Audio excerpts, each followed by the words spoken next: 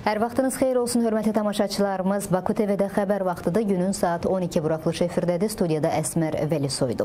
Bakı daha bir beynəlxalq samitə ev sahibliyi edir. Ətraflı bir qədər sonra təqdim edəcək canlı bağlantımız olacaq. İndi isə saatın əsas xəbər başlıqlarına nəzər salaq. Bakıda dini liderlərin qlobal samiti keçirilir. Prezident İlham Əliyev iştirakçılara müraciət ünvanladı. Tərtər Ağdərə avtomobil yolunun tikintisinə başlanıldı. Avtomobil yolları Dövlət Agentliyi məlumat yaydı. Soruşdum təkrardan ki, uşağın ürək döyüntüsü varmı? Dedi, hə, var. Uşağıma tərpənmirdi. Zaqatalada yeni doğulan körpə niyə öldü? Bakıda dini liderlərin qlobal samiti keçirilir. Prezident İlham Əliyev Birləşmiş Millətlər Təşkilatının iqlim dəyişmələri üzrə çərçivə konvensiyasının tərəflər konfransının 29-cu sessiyası çərçivəsində Dünya dinləri yaşıl planet uğrunda şüarı altında keçirilən dini liderlərin qlobal samitinin iştirakçılarına müraciət ünvanlayıb. Müraciətin mətnini Baş nazir Əli Əsədov oxuyub.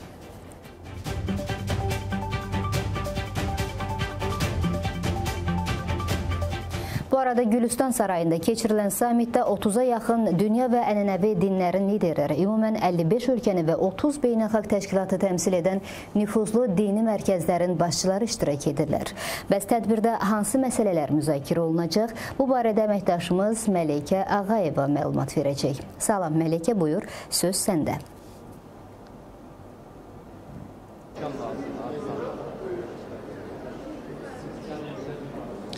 Salam Əsmər, hər vaxtınız xeyir olsun dəyərli izləyicilər. Bir daha xatırladım ki, bu gün Gülüstan sarayında dini liderlərin qlobal Bakı samiti e, keçirilir və e, samitdə, bu dəfəki samitdə əsas müzakirə mövzusu e, demək bəşəriyyət üçün önəm daşıyan, planetimizin gələcəyi üçün önəm daşıyan iqlim dəyişikliyi ilə bağlı məsələlərdir. Çünki bilirsiniz ki, hazırda planetimiz üçün əsas təhdidlərdən biri iqlim dəyişikliyi ilə bağlı yaşadığımız problemlərdir. Elə bu samitin samitin də əsas məramı dini liderlərin bu məsələyə verəcəyi töhvədir. E, qeyd edeyim ki, e, samit ilk olaraq Prezident İlham Əliyevin samit iştirakçılarına müraciəti ilə başladı. Ardınca Birləşmiş Millətlər Təşkilatının baş katibi Antonio Guterreşin də video müraciəti yayımlandı və cənab Guterreş e, müraciətində dini liderlərin iqlim dəyişikliyi ilə bağlı məsələlərə verəcəyi töhvəyə toxundu. Xatırladım ki, samit iştirakçıları da burada iqlim dəyişikliyi ilə bağlı bir sıra məsələlərə toxundu. Xüsusilə burada e, demək e, dünyanı cənginə alan müharibə təhdidləri, təbii sərvətlərin e, səmərəsiz, nəzarətsiz istifadəsi məsələsinə toxunuldu. Həmçinin bu problemlərin ekosistemin necə məhv etdiyi məsələsinə toxunuldu dəyərli izləyicilər. Xatırladım ki, bugünkü tədbirdə 30-a yaxın ənənəvi və dünya dini liderləri, eyni zamanda demək bir sıra din, elm və dövlət xadimləri iştirak etdilər və tədbir 3 gün davam eləyəcək. Sabahki tədbirdə bir sıra sənədlər imzalanacaq və tədbirin son günü, yəni 7 noyabrda tədbir iştirakçılarının Qarabağa səfəri olacaq dəyərli izləyicilər. Hazırda mənim buradan sizə çatdıracaqlarım bu qədər. Əsmər söz səndədir. Təşəkkür edirəm Məlikə ətraflı və dolğun məlumat üçün. Hörmətli tamaşaçılarımız, xatırladaq ki, əməkdaşımız Gülüstan sarayında keçirilən Dünya dinləri yaşıl planet uğrunda şüarı altında keçirilən qlobal samit barədə bizə ətraflı məlumat təqdim etdi. Buraxılışımız isə davam edir. Gələn həftə Azərbaycanda COP29 konfrans öz işinə başlayacaq. Tədbirdə iştirak edəcək qonaqlar sırasında Məsud Pezeşkiyan da olacaq. İran Prezident Administrasiyası bu barədə məlumat yayıb. İran prezidenti Məsud Pezeşkiyan gələn həftə COP29 konfransında iştirak etmək üçün Azərbaycana gələcək. Bunu İran prezident administrasiyasının ictimaiyyətlə əlaqələr şöbəsinin müdiri Həbibullah Abbasi İRNA agentliyinə açıqlamasında deyib. Qeyd eləyək ki, BMT-nin iqlim dəyişmələri üzrə çərçivə konvensiyasının tərəflər konfransının 29-cu sessiyası 11-22 noyabr tarixlərində Bakıda keçiriləcək.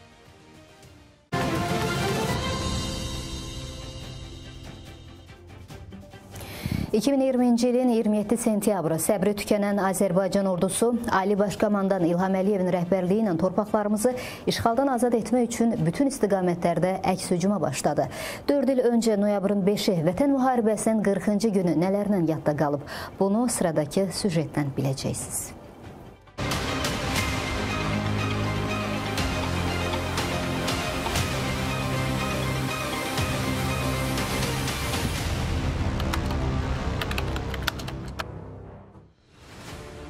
2020-ci il noyabrın 5-i. Zəfər dastanımızın yazıldığı 40-cı gün. Döyüş meydanında eyni ilə dastanlardan, nağıllardan eşitdiyimiz 40-cı gün mistikası yaşanır.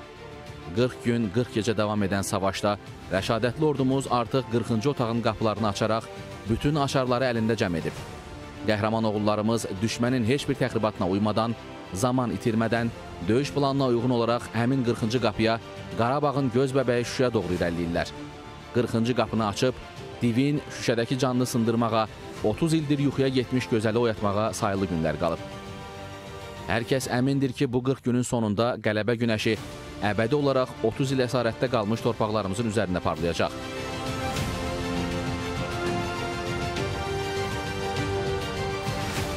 Savaşın 40-cı günü döyüş əməliyyatları müxtəlif intensivlikdə əsasən cəbhənin Ağdərə və Xocavənd istiqamətlərində davam edir.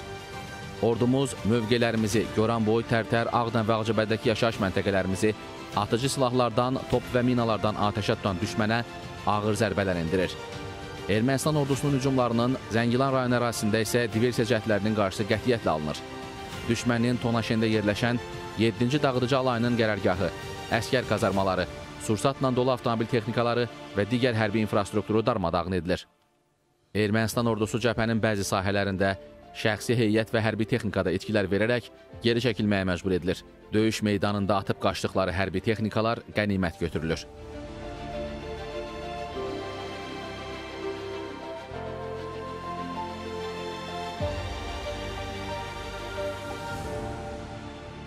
Cəbhədə başı ilan başı kimi əzilən düşmən yenidən mülki insanlarımızı hədəf alır. Səhər saatlarında Ağcabədinin Qiyaməddinli kəndinə 4 mərmi atılır. Gün ərzində fasilələrlə Tərtər şəhəri və Səhlabad kəndi, Ağdamın Hacıturallı və Əfətli kəndləri, Goranboy və Tərtərin yaşayış məntəqələri artilleriya atəşinə tutulur. Təbii ki, ordumuz bütün bunların və 30 ilin cavabını ön cəbhədə verir. Düşmənin Ağdərə-Papravənd marşrutu ilə hərəkət edən bir komandir, bir rabit avtomobili, şəxsi heyət və sursatla dolu 2 KAMAZ maşını və qoşqusunda top olan 3 Ural maşını darmadağın edilir. Ağdam istiqamətində gedən döyüşlərdə Ermənistan ordusunun 41-ci artilleriya alayının batareyalarına zərbələr endirilir, xeyli sayda canlı qüvvəsi məhv edilir.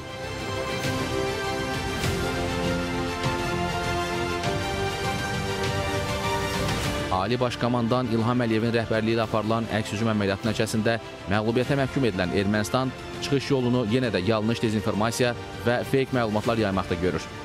Ermənistan ordusunun hərbi cinayətlərini və qanunsuz əməllərini örtbasdır etmək üçün beynəlxalq ictimaiyyətin diqqətini yayındırmaq məqsədi ilə həyasızcasına Azərbaycanı eyni ittihamla günahlandırır, bu məqsədlə kütləvi saxta xəbər kampaniyası aparır.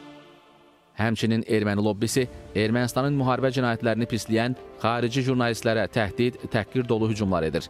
Bu kampaniyalarda sosial şəbəkələrin erməni segmenti də aktivlik göstərir. Ordumuza mənəvi dəstək məqsədi ilə hərbi forma geyinmiş incəsənət nümayəndələrinin fotolarını yayaraq Azərbaycanın yüksək rütbəli hərbçiləri kimi təqdim edir və güya onların öldürüldüklərini iddia edirlər.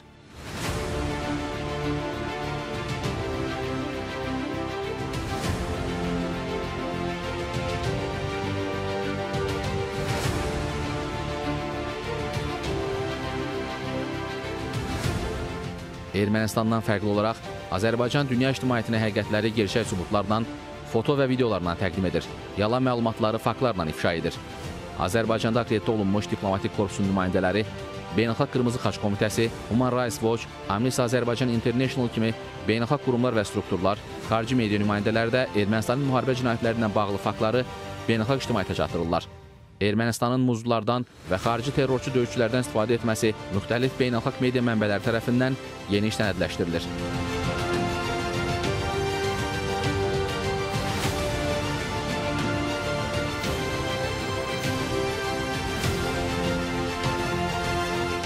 Təbii ki, düşmənin bu təxribatları heç bir fayda vermir. Yeganə yol Azərbaycanın təklifləri ilə razılaşmaqdan keçir. Prezident İlham Əliyevin noyabrın 5-də İspaniyanın EFE İnformasiya Agentliyinin müsahibəsində dediyi kimi We offered them autonomy inside Azerbaijan. Biz onlara Azərbaycan daxilində muxtariyyət təklif etdik. Biz onlara mədəni muxtariyyət təklif etdik. Biz dedik ki, dünyada, Avropada, Skandinaviyada, Alan adaları timsalında, İtaliyada Cənubi Tirol timsalında və bir çox başqa yerlərdə yaxşı nümunələr var. Lakin onlar hər şeyi rədd etdilər. Onlar yalnız müstəqillik tələb edirdilər və istəyirdilər ki, biz bu müstəqillik tanıyaq. Münaqişəni dondurmaq üçün hər şey edirdilər. Mən bilirəm, biz birincisi münaqişənin bu qaynar fazasını bitirməliyik. Danışıqlar masasına qayıtmalıyıq. Ermənistan mənim artıq dediyim öhdəlikləri üzərinə götürməlidir və sonra biz gələcəkdə nə baş verəcək, onun haqqında danışa bilərik.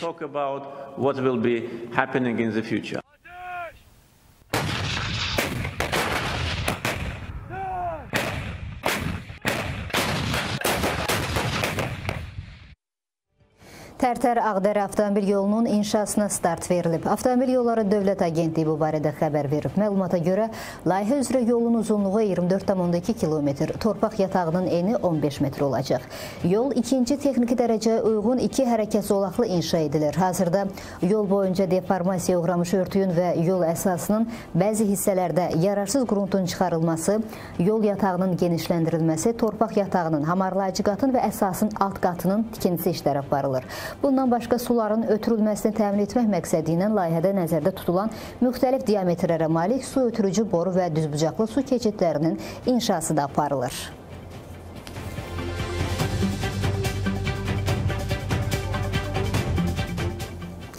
Davam edirik. Zakatalada körpə ölümü baş verib. Belə ki, Yengiyan kənd sakini doğum şöbəsinə müraciət edib və onun oğlu dünyaya gəlib. Bir qədər sonra isə anaya övladının öldüyü barədə məlumat verilib. Sahibə Məmmədovanın iddiasına görə həkimlər ona uşağının sağlamlığı barədə düzgün məlumat verməyiblər. Bəs qarşı tərəf bu iddialara necə cavab verib, süjeti izləyək. Zaqatalada yeni doğulan körpə ölüb. Rayonun Yengiyan kənd sakini 24 yaşlı sahibə Məmmədova doğuş sancıları ilə oktyabrın 31-i səhər saat 9 radələrində doğum şöbəsinə daxil olub. Noyabrın 1-i gecə saat 03:50-də sahibə Məmmədova təbii doğuşla oğlan uşağı dünyaya gətirib. Daha sonra anıya körpəsinin ölməsi barədə məlumat verilib. Ayın 31-i sancılarım tutdu. Getdim həkimə, dedim ki, uşaq tərpənmir də. Yəni baxa bilərsinizmi? Dedi ki, narahat olma uşağın ürək döyüntüsü var. Heç nə iynə vurdular. Dedilər ki, biraz da sancın tutacaq sənin. Daha da sancılarım artdı. Saat 3-ün yarı doğuşa götürdülər. Yenə təkrar baxdılar uşağın ürək döyüntüsü varmı? Dedilər, hə, var. Saat 4-də doğuş oldu. Doğuş olanda da soruşdum təkrardan ki, uşağın ürək döyüntüsü varmı? Dedi, hə, var. Uşağıma tərpənmirdi. 10 dəqiqə, 5 dəqiqə belə üstündə oksigen zat verdilər, masaj elədilər uşağı, sonra üzünü örtüb apardılar. Həm doktor dedi ki, deyib ki, bir ay qabaq uşaq ölüb deyə, amma bir ay qabaq uşaq ölə bilməz axı. Mən ora gəlmənə qabaq uşaq tərpənirdi. Bütün özəl xəstəxanalara apardım. Özümüzün mərkəz xəstəxanaya apardım. Hər şey normal, qaydasındaydı. Heç bir problem yox idi. Həkim də özü dedi ki, hər şey qaydasındadır. Evladım mənə əmanət. Heç kəsin şikayətçi deyiləm. Sadəcə ölmə səbəbini bilmək istəyirəm. Bir də həkim onun ölmə səbəbi niyə gizlədir? Adı çəkilən mama ginekoloq bildirib ki, ölümün dəqiq səbəbini öyrənmək üçün müvafiq nümunələr götürülüb. Doğuşun birinci dövründə şöbəyə daxil olub, lazım olan e, yardımlar göstərilib. Ayın 1-i 03-25 dəqiqədə e, doğuş baş tutub, doğuş fəsadsız keçib, uşaq ölü doğulub. Uşağın da ölümün səbəbini bilmək üçün e, bizim mərkəzi xəstəxananın ekspertiza şöbəsinə təşvir verilib, təşhir üçün təhvil verilib. Nəticəsi yəqin ki, təşhirdən sonra məlum olacaq səbəb nə idi. Faktla bağlı araşdırma aparılır. Praqada velosiped şousu baş tutub. Bu şou hər kəsin diqqətini cəlb edib, çünki iştirakçılar retro velosipedlərlə yarışıblar.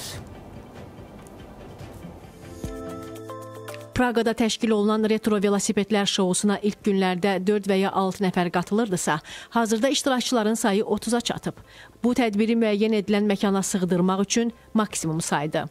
Təşkilatçılar klassik velosipedlərin nümayişini bu cür sistemli tədbirlərlə davam etdirmək niyyətindədirlər. İştirakçılar arasında retro velosipedlərin şousuna qatılmasının 30 illiyini qeyd edənlər də var. Amma hər kəs bu şouya qatıla bilməz, çünki retro velosiped sahibi olan az sayda adam var. Orta əsrlərin cazibəsini sevənlər Praqada tarixi velosipedlərlə 1 mil məsafəni qət etmək üçün yarışıblar.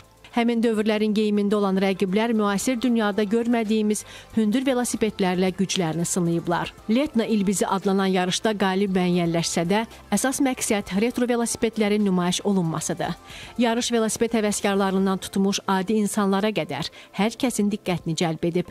Onlar tarixdən qalmış bir hissənin müasir dövrdə nümayişindən zövq alırlar.